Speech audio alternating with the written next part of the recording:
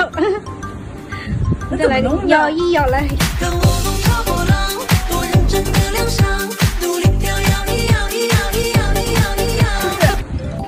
在大年三十除夕之夜，一向给人温婉大方、美丽端庄的蒋勤勤因穿搭引起网友们的热议。只见照片中，她身穿一身绿色的豹纹连衣裙，胸口还开了一个口，露出雪白肌肤，头发凌乱，眼线外飞，衣着大胆，只戴一边耳环就跳起了浪姐。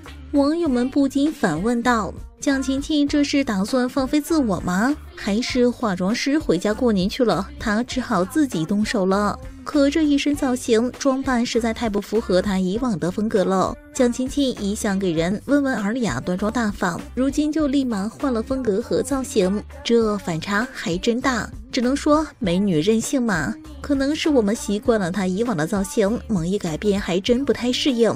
但愿她这是偶尔的心血来潮之举，等她化妆师再上班，她又恢复正常了吧。